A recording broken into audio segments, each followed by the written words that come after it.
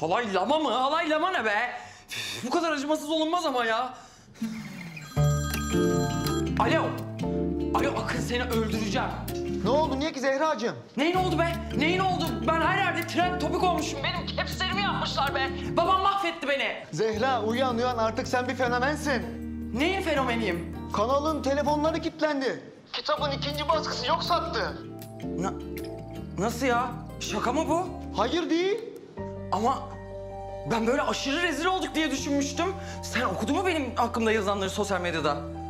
Evet okudum. Rezil oldun ama o rezillik sana şöhretin kapılarını açtı. Bundan sonra seni tutabilene aşk olsun. Ne diyorsun ya? Olaya bak. E artık şu söz verdiğim menajerlik olayını da bir imza ile taşlandırırız diye düşünüyorum. İş taşandırırız tabii ya imzalarız ne olacak? Neler imzalarız? Tamam arayacağım ben seni.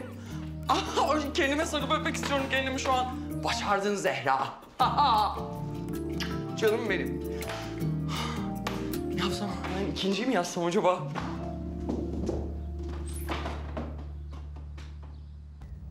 Biraz daha iyi misin?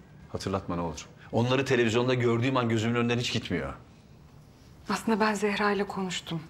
Kendisini uyardım. Ama kızın bir suçu yok. Yani Yıldız'la takıldığı için onun aklına uyuyor. Baba. Baba. Ablam fenomen olmuş. Onun fenomenliği batsın. Hayır hayır, öyle deme. Gerçekten bak herkes onu konuşuyor.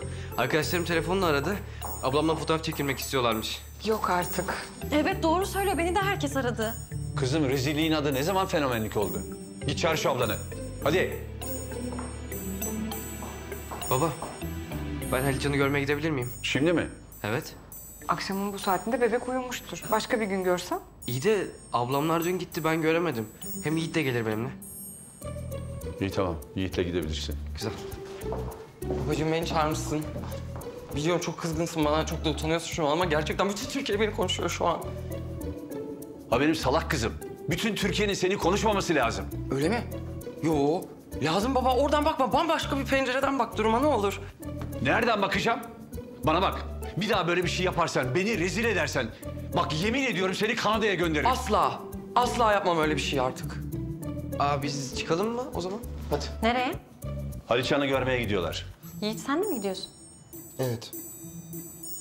Ya ben de mi görsem baba Ali Can'ı? Tabii canım. Sen de git. Ben de mi görsem baba Halitcan'ı? Tamam sen de git. Geç kalmayın ha. Tamam.